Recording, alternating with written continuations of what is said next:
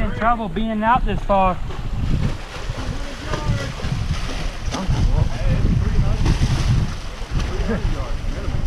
I mean, What is she doing? I didn't throw nothing at you. You're not supposed to swim within 300 yards of the pier. Where's the shark? There's a lot of sharks. we've seen like six No, sharks. Shark. What am I gonna do about a shark? You know what I'm afraid of? The jellyfish. That sucks. That The man of war. That is bigger than your heads, all combined. That's awesome. Shark. Why are you so aggressive? why are you so mad?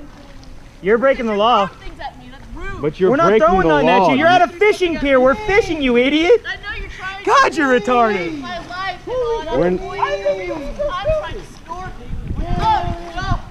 Please let me snorkel. I not smart at all, especially with all the bait running around here. That's, The bait, She was swimming going this way. therefore sharks. We're going that way? Yeah, All she she has to do is We've rub been throwing cut bait in all day.